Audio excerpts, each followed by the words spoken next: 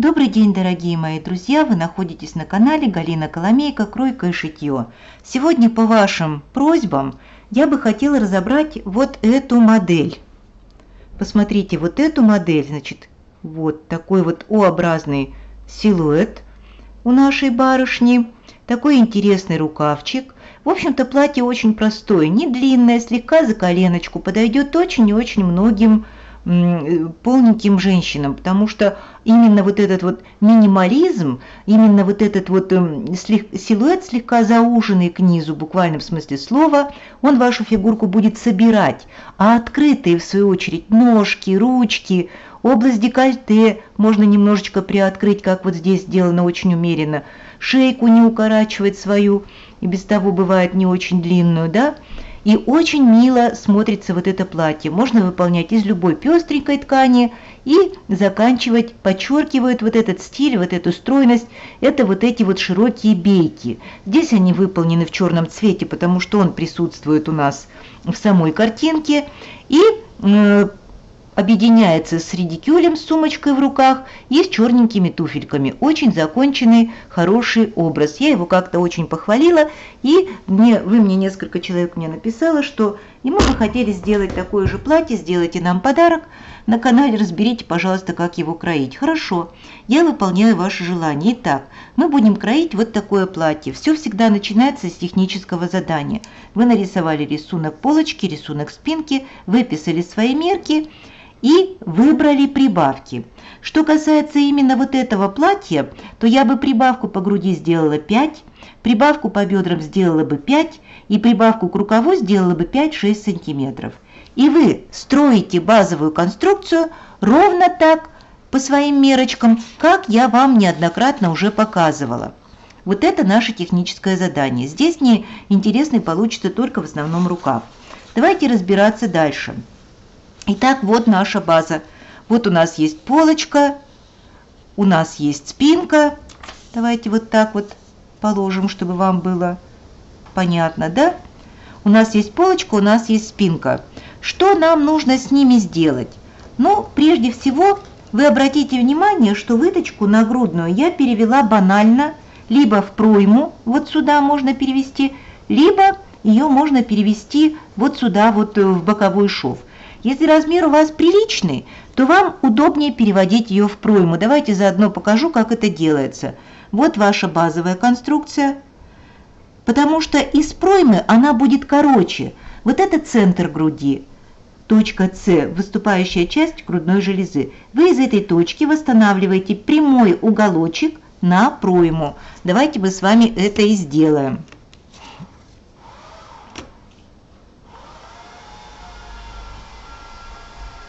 Вот так. Мы восстановили прямой уголочек. Где она у нас, вот этот перпендикуляр окончился? Вот здесь окончился. Дальше я хочу, чтобы вот эта выточка закрылась, а вот в этом месте она открылась. Ставим сюда карандашик и начинаем поворачивать нашу выточку влево, совмещая стороны. Оп, они совместились. Посмотрите, стороны совместились и Куда наш перпендикуляр перешел? Вот в эту точку. Затем куда? Проймочка изменилась и изменилось наше плечико. Все. Убираем. Смотрим, что получилось. Вот у нас одна отметочка, которую мы с вами сделали. И вот вторая отметочка. Выточка открылась именно вот сюда. Так как мы всегда укорачиваем нашу выточку, она никогда не доходит до точки С, у нас есть область так сказать, недоступности, да, то поярче я нарисую вот так. Ну и, конечно, обведу потом фломастером, чтобы вам было все видно и понятно. Вот так мы справились с вами с этой выточкой. То есть она идет либо в пройму, потому что она здесь покороче, у кого размер достаточно большой, тому очень выгодно ее э, эм, выводить именно сюда, потому что в косое выполнение этой выточки оно лежит очень хорошо, сутюживается легко, а, и она значительно короче. А если вы бы открыли ее сюда, она получилась бы длинная, не факт, что она бы здесь не подтарчивала. В общем, это выгодно. Дальше. Глядя на наш рисуночек, на технический эскиз, вот так давайте его подвинем, да, я вижу, что у нас горловинка явно расширена. Насколько ее расширять, я не знаю. Вы тоже пока сильно не увлекайтесь. Давайте расширим ее на 3 сантиметра. Вот здесь 3 сантиметра. Ну и сколько вам нужно углубить, вот эта точка В, еремная впадинка, вы подходите к зеркалу, выбираете себе нужную вам э, глубину выреза и уже ориентируясь на эти меточки, аккуратненько рисуйте свою горловинку. Вот так. Беечку рисовать я сейчас не буду, потому что вы сделаете примерку, эта горловинка может у вас измениться, стать либо пошире, либо побольше, непонятно как она у вас изменится, поэтому бейку будем подрезать после осноровки, после того, как будет понятно окончательный вырез горловинки, и тогда мы уже на, на этапе подрезки мелких деталей мы будем подкраивать нашу беечку. Вот это мы разобрались, значит, с горловиной переда. Теперь столько же, сколько здесь вы сняли с плечика, вы снимаете на спинке, те же 3 сантиметра. Ну и каким-то вот тоже таким вот небольшим образом, сзади вырезать много не нужно, вы открываете себе горловину спинки. Значит, талиевых выточек никаких нет. Самое интересное – это силуэтная форма. Вот посмотрите, она похожа на овал на бочоночек. Здесь у вас 5 сантиметров и здесь у вас 5 сантиметров прибавки. Скорее всего, что ваша выкройка и будет уже в бедрах шире, чем вот здесь. Но, как бы там ни было, я, значит, ее немножечко в бедрах еще расширяю. И сохраняйте это расширение – примерно вот на этом уровне. Вот так. То есть немножко не доходя до талии и спускаясь ниже бедер, ну, сантиметров вот здесь у меня получилось 8. Значит, 8 здесь. До талии я не дохожу 3 сантиметра, то есть выше талии у меня 13. 13 у меня здесь. 8 до 13 – 21 сантиметр. Вот так. Затем соединяем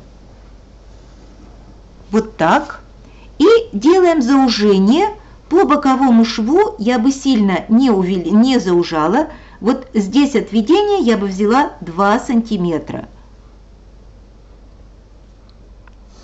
2 сантиметра. Вот так. Видите, какой овальчик у меня надулся, вот буквально вот э, начиная от талии и до бедер. То же самое я повторяю со спинкой. Прибавка по груди как была 5, она у вас построена, так она у вас и есть 5. И здесь то же самое заужаете на пару сантиметров. Вот так будет выглядеть спинка. Длина еще у вас изменится каким-то образом. Вот, рукавчик он вточной, поэтому укорачивать плечика я не буду. Пройма, выточка, нижняя часть проймы и пошел наш вот этот вот овал. Можете его экспериментировать и как-то еще видоизменять. Ну, я вот так это сделаю. Беек тоже, повторяю, пока никаких нет, потому что мы будем с вами выполнять примерку. Возможно, вы платьице еще укоротите, но силуэтная форма у нее будет какая-то вот такая. Давайте другим цветом э, нарисуем спинку. Кстати, вот эту выточку вы можете легко перевести вот сюда.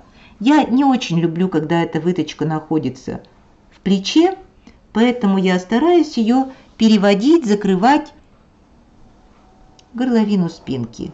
Опять же, она и выполняется гораздо легче, потому что там идет ткань по косой, ложится хорошо, ну и во всех отношениях она там более уместна.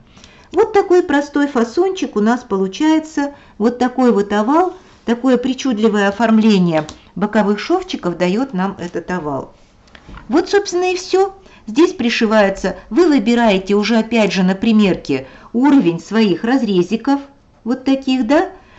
Потом, когда уже все будет сшито и осноровлено, вы подрезаете вот эту бейку, вот такую беечку. Она у вас может быть как на строчной, так и приточной можете сюда прибавить. Это зависит от того, от вашего желания. Здесь тоже у нас получится с вами беечка.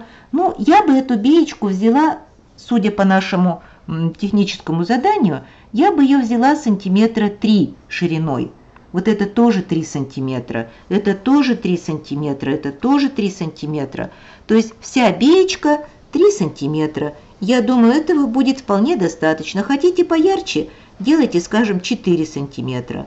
И на этом мы зацикливаться, задерживаться больше не будем. Самое интересное здесь рукав. Давайте посмотрим, как мы выполним наш рукавчик.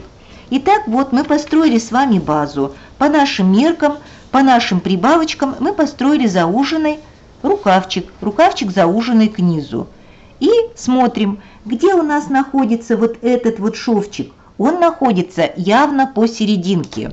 Значит, и еще я обратила внимание, что вот на этом месте, вот это место доходит до чуть выше локтя. И вот сюда как бы вшивается у них замочек, молния. А дальше как он у нас ведет? Во-первых, вы выбираете длину, которая вам нужна. Длина у нас будет явно поменьше. Три четверти где-то примерно там у нас будет. Так? Потом мы смотрим на мерочку. Ширина рукава внизу, рукавчик зауженный. Мы меряем ширину рукава внизу как раз на уровне длины рукава три четверти. И, допустим, она у нас там, какая она была? Она была 23 сантиметра. Добавим э, еще немножечко на свободу облегания и сделаем 24 сантиметра. И боковой шовчик у нас переоформится вот так и вот так. Надо сказать, что выточку здесь я рисовать не буду. Вы можете ее как перевести, допустим, вот сюда, да, и ее закрыть. Тогда она у вас откроется вот здесь, вы ее просто прошьете и все. Некоторые ткани позволяют ее аккуратненько, так сказать, посадить в посадку. Давайте попробуем сделать так. Вот, я нарисую посадку, а, да, виноват, не сюда пришла, потому что я делаю рукавчик немножко зауженный к низу, вот сюда мне нужно прийти. Я потом обведу, как нужно. Вот так, это мы заузили рукавчик, подружили его с мерочкой, ширина рукава внизу. Дальше. Мы уже сказали, что вот здесь у нас идет, и как-то больше видно вот эту вот переднюю часть. Поэтому примерно вот отсюда, вот отсюда я бы нарисовала линию вот так, вот так, вот так, вот так, вот так. Сюда. А эту линию я нарисовала бы, она как-то более закрыта у нас. Вот так, вот так, вот так. И, возможно, даже вот так. То есть передняя часть как бы открывается руки, вот это передний локтевой перекат, вот это место, да? Вы знаете, что это передний локтевой перекат, а задний локтевой перекат, он как-то немножечко даже провисает у нас, делается подлиннее. То есть вот я бы сделала рукавчик, наверное, вот такой. Так как ткань пестренькая, может быть здесь выточка локтевая, может быть просто посадка у вас получится. Это уже ваш выбор. Ну и все. Опять же, нужно сначала сделать примерочку этого рукава, а потом уже начинать его обрабатывать. Вот это будет у нас передняя половиночка рукава. Так, рукав будет состоять из двух частей. А вот это будет задняя половиночка рукава. Вполне возможно, что у вас вот это смещение, вот эта точечка, да, которая совпадает с плечевым швом, она у вас пойдет немножечко вперед, как это делается обычно у рукавов реглан – чтобы заднюю половиночку рукава сделать немножечко побольше. Поэтому рукав интересный вот такой, здесь будет посадка вместо выточки. Я бы сделала его вот таким. Но повторяю, прежде чем обрабатывать эти срезы, их надо посмотреть и примерить. Возможно, что вам захочется вот так вот немножечко все сместить. Ну а потом, когда вы уже найдете точно вот эти все пропорции, вот эту форму вот этой фантазийной линии, да, вы можете легко разобрав снова свой рукавчик, стачав только внутренний шовчик вот этот, обработать это вот такими вот красивыми беечками. Все. Вот и получится наша с вами решенная вот такая задача. Платьице у нас получилось вот такое. Так, сейчас мы это все посмотрим. Готовый результат. Рукавчик, платьице и наше техническое задание. Устроим все так, как чтобы было нам видно. И наше техническое задание, которое выглядит вот таким вот образом. Все, на этом разрешите сегодня закончить нашу работу. До следующих встреч. Задавайте свои вопросы, обращайтесь с просьбами. Я, как могу, постараюсь их выполнять. Все, что в моих силах показать и рассказать вам, я постараюсь это все сделать. Всего доброго, всегда ваша Галина Коломейка. Подписывайтесь на мой канал и ставьте лайки.